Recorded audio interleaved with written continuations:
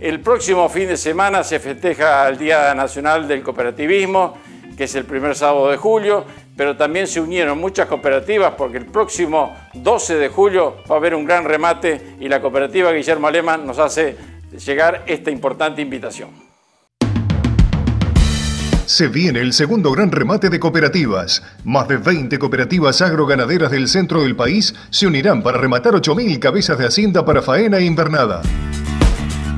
Lunes 12 de julio, en vivo por Canal Rural y vía streaming. Negocios ganaderos con espíritu cooperativo. No te lo pierdas.